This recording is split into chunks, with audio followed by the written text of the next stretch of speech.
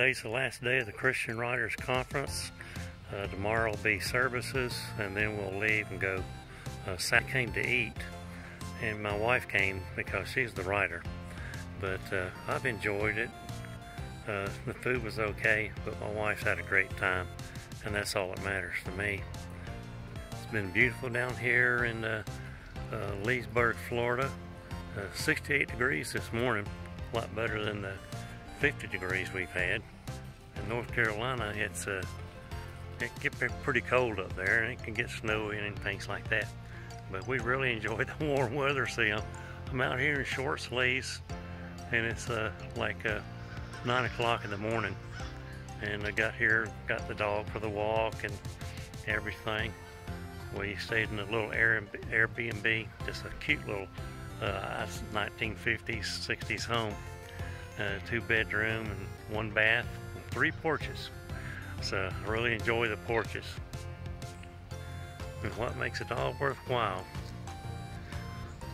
is that my wife has uh, learned and come through.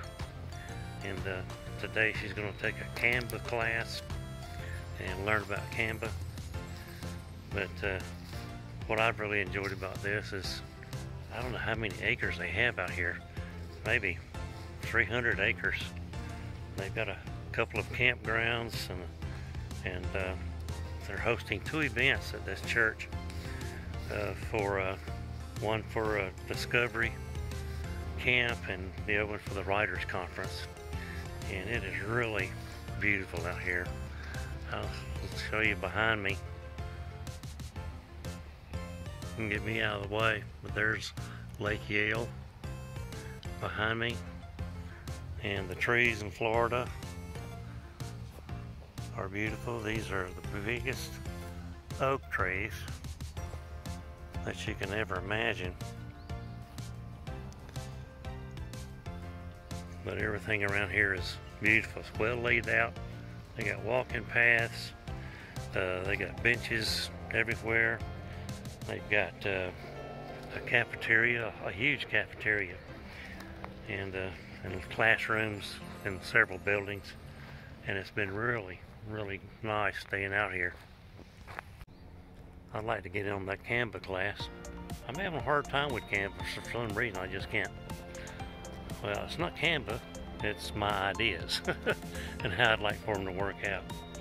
But uh, it's a little different than what I'm used to because I was a truck driver for 17 years and now I'm retired and I just want to stay busy.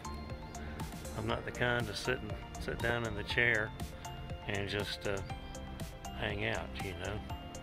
So I'm just uh, doing what I can and what I enjoy, and I, I'm enjoying this, trying to make these stories, and uh, hopefully they're interesting to you and uh, I don't know. I mean, you know, I'm just trying to do my best.